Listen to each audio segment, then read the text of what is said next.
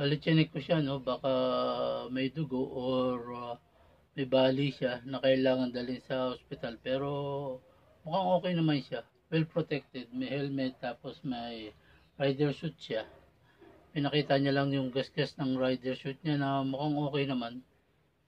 So, sinubukan ko rin tanggalin yung motor niya na ipit dun sa railing. Pero hindi ko rin kaya, wala rin ako magawa. So sana okay siya no kasi iniwan ko siya doon. May tinatawagan na siya, may kinokontak na siya. So tama sana tama yung assessment ko na okay na siya no. So yun lang mga riders, ingat-ingat lang tayo dahil ah, alam kong masarap mag-banking. Ang daming kurbada rito pero dapat ah, sure ball no. So ingat-ingat pa rin.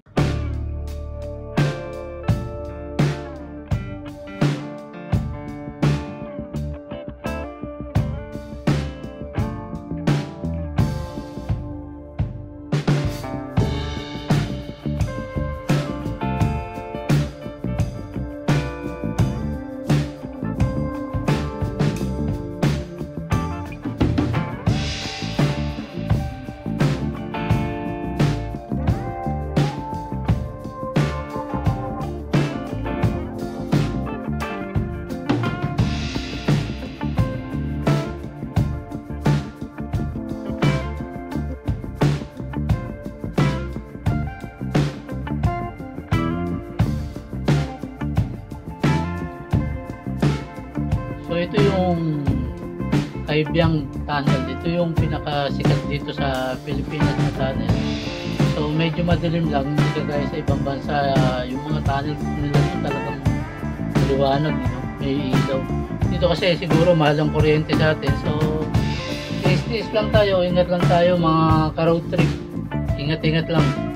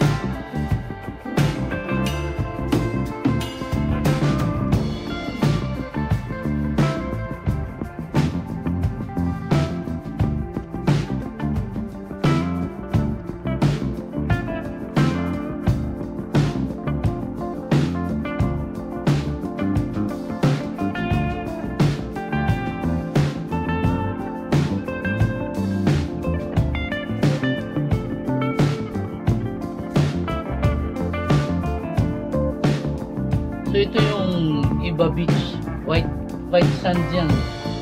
Ah, kung sino interesado pumunta dyan, pwede kayong magtanong dito sa sa may viewing deck. May mga tao rito na mapagtatanungan.